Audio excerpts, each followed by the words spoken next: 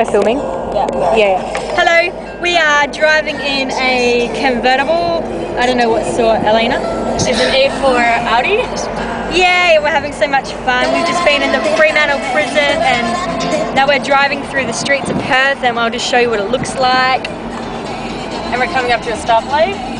Yep. We are in the suburb of Cottesloe for all those people who know Perth.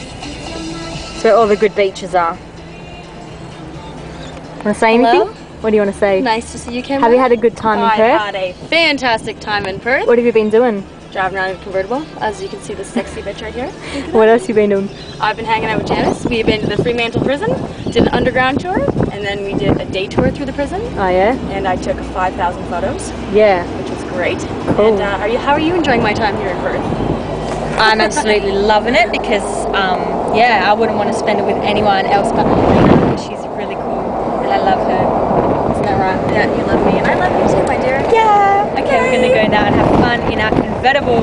Woo, convertible. Oh yeah, and yeah. By the way, like when we bought, when we um, picked up the convertible, someone else who hired another four-wheel drive, they smashed into a high car before they even drove out of the um, Which place. was my fault because I went to back up and they beeped me, and then they decided that they were going to back all the way up, and then they smashed into another vehicle, which was very nice.